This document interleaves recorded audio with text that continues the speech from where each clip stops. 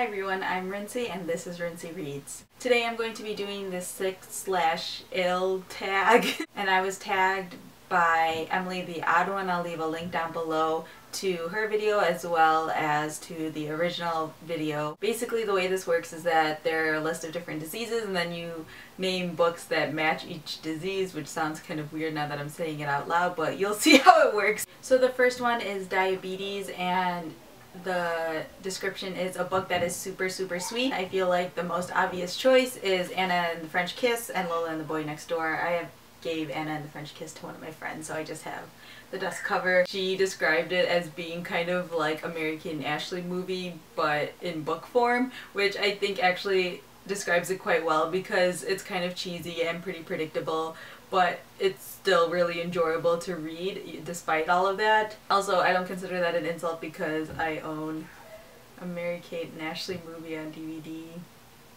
Probably something I should be embarrassed about, but I'm not. Next is Chickenpox, and that it means a book that you've picked up once, but you'll never pick it up again. And for that one, I chose Virals by Kathy Reichs. Like I've said in previous videos, I really like Kathy Reichs' Bone series, so I was really excited when I heard she was writing a young adult book, so I picked this one up, and I wasn't really a fan of it, and it's supposed to be its own series as well, so I definitely won't be picking up the other books in this series, and I probably won't be rereading this one anytime soon. Next is Influenza, and it's a book that spread like a virus.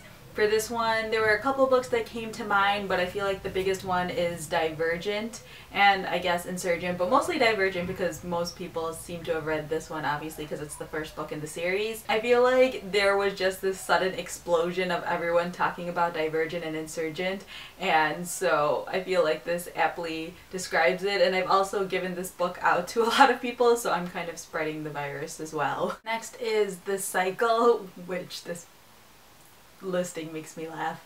But it's a book that you read every month or every year or just on a regular basis. And I talk about this all the time, but it's To Kill a Mockingbird. I try to reread it at least once a year because it's my all-time favorite book and I love it so much.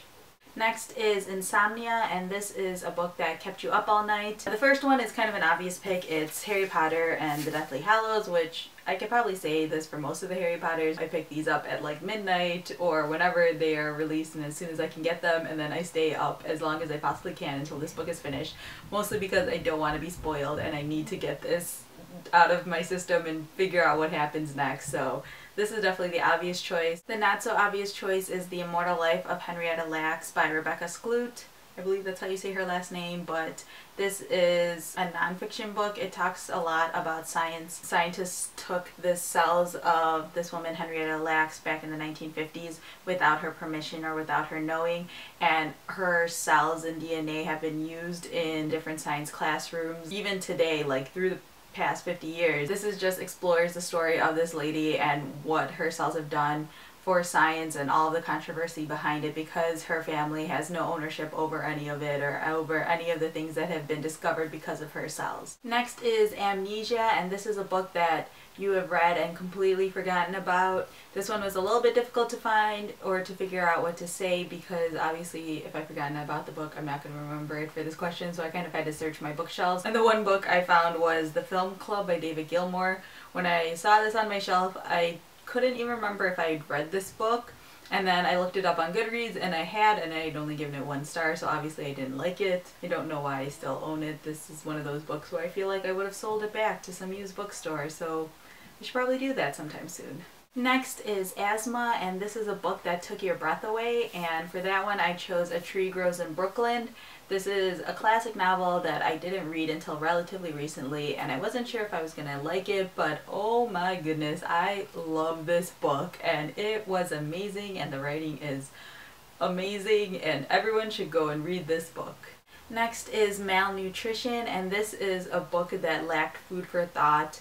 I try to avoid books that are super fluffy or don't seem to have a lot going on in them but I was part of this book club and every month there was a different theme and one of the month's theme was guilty pleasures. The book that ended up being chosen was this book called Nerd in Shining Armor. I don't even own it. I read like an ebook version of it that someone gave to me so I didn't pay for it. But I don't feel that bad about it because I hated it. It was the worst book ever. It's, oh, I don't even know, remember if I finished it, but it was the worst. And the final one is Travel Sickness and this is a book that brought you on a journey through time and or space. There are a lot of options for this. The obvious ones are things like Harry Potter and Narnia. The book I'm going to talk about is Eat, Pray, Love which is a book that everyone basically knows about at this point and I think it's given a lot of flack unnecessarily it really isn't that bad. I mean, it's a fluffy book and it's a memoir about a woman's life, so you kind of have to know that going in. But I felt like when I was reading this, I really was traveling to all the different countries with her. And I also read this when I was on summer vacation in India, so I felt like that also had some of the influence on it because when she was reading things about India, I could completely relate to it. I think that's why I ended up enjoying this book so much and why I don't hate it quite as much as everyone else seems to. So yeah, that's the end of this tag. I don't ever tag people in my tag videos because I'm always really bad at thinking of people so I just tag everyone if you want to do the tag do it I think this one's a lot of fun and really creative so I feel like more people should be doing this tag I also wanted to say I'm really sorry if like my voice cracked or sounds weird in this video I went to a football tournament on Saturday and my voice is still kind of recovering from that so that's why I may have sounded funny during this video. I feel like I can even hear it right now as I'm talking. Feel free to leave comments down below if you've read any of these books and agree with me on the categories or if you guys can think of something else that could fit into these different categories. I feel like there are a lot of options that could fit into different ones. I tried to pick things that were a little bit different than what people have already said. A lot of people have said Anna and French Kiss for some of these and the Harry Potters fit into a lot of these categories categories, but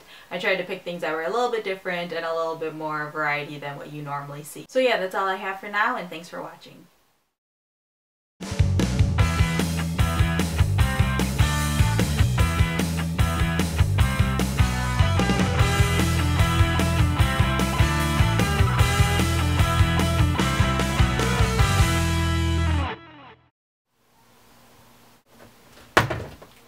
Basically you'll see how this works every there's basically you'll see how this the not so obvious choice is the immortal life of henrietta like i said i gave anna and the boy next door to, nope that's not what it's called